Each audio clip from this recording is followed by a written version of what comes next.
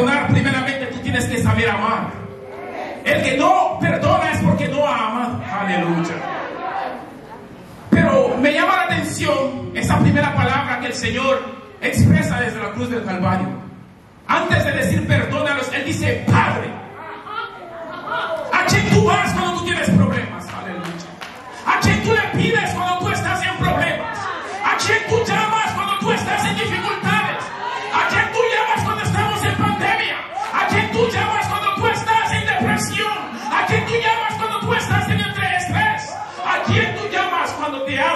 ¿A quién tú llamas cuando te han abofeteado? Cuando te han escupido? Cuando han hablado mal de ti? Cuando te han visto mal? ¿A quién tú llamas? Él dijo, Padre. Es ahí donde tenemos que ir. Padre, perdónales. Porque no saben lo que hacen. ¿Has sido tú algún día vituperado? ¿Alguna vez te han humillado? ¿Alguna vez te han escupido? ¿Qué es lo que haces en ese momento? ¿Qué es lo que tú haces? ¿Será que tú les das para atrás o tú devuelves tu otra mejilla? ¿O tú te vas por Facebook y escribes y hablas mal? ¿Alguna vez te han traicionado? ¿Alguna vez alguien ha hablado mal de ti? ¿Alguna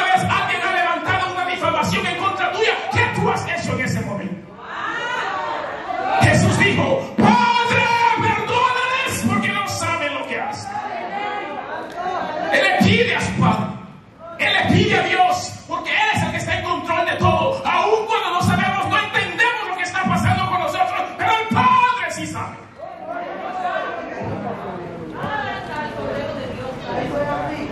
Pero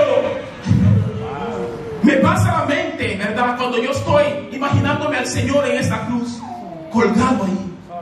Viene a mi mente lo que dice Pablo en, en- en el libro de los Filipenses, capítulo 2, del verso 6 en adelante. Él nos dice a nosotros, haya pues en vosotros este mismo sentir que hubo en Cristo Jesús, el cual siendo en forma de Dios, no estimó el ser igual a Dios como cosa que aferrarse, sino que se despojó de sí mismo. Y fue en esa cruz del Calvario donde Él se despojó de sí mismo. Y Él nos pide a nosotros que tengamos su mismo sentir y orar por aquellos que nos perturban. Dios te bendiga.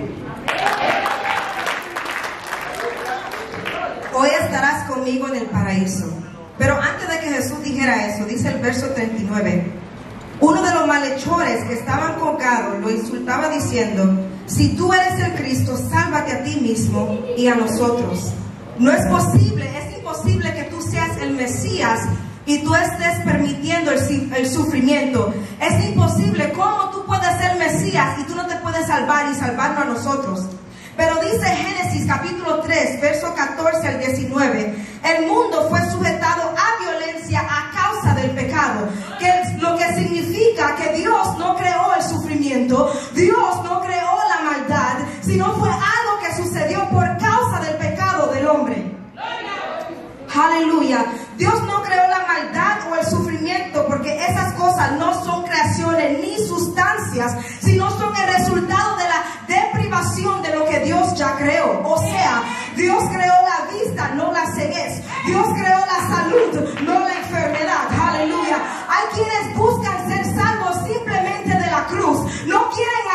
arrepentirse,